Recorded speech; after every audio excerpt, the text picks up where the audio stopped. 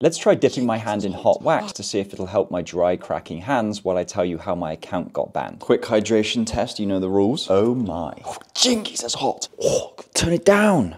Idiot. And my wife's just said the smell makes her sick, so let's take it downstairs while it cools down. My hand feels like it's vibrating. Right, so I just got home from the gym and I received this notification, account disqualified from creativity program. Now this is where I make the majority of the money to feed my family when I tell you my heart stopped, yeah, it just I have to dip this 10 times.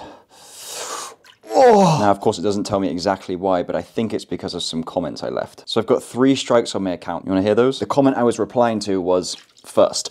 Oh. So I said, that means you were also first to see Duda's booty hole because it showed up in the video. One strike. Next one was two days later. I can't go to the initial comment, but my reply is, Max, you dirty old dog, you. Who thought this was a good idea? Third strike.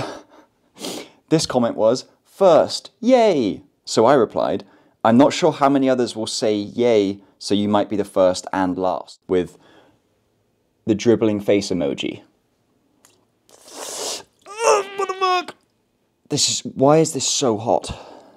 Now, I don't think any of those are too bad. So this all means that I now can't make any money on TikTok. So I've come up with a bit of a plan to feed my family. And when I make videos, I make the videos about things that I enjoy doing and then just try and edit them in a way that's entertaining for you to watch. Now, since I desperately need brand deals, oh, dude, this is, you wouldn't believe how hot this is. And to get the brand's attention, I'm thinking I post videos where I showcase my idea for a potential collaboration. So one of you had an amazing idea to do a hand model skin routine for seven days and see if that helps my dry dead hands. So perhaps CeraVe would be would like to sponsor that so that my family's not eating hot Cheetos and Funyuns for the rest of the month.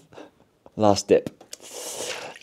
Good God, dude. It's been 10 minutes and this is meant to be a really satisfying part. Oh, that feels nice. Worth it. Maybe tomorrow I'll try moisturizing with CeraVe first. Now, skin hydration test? That's not great, is it?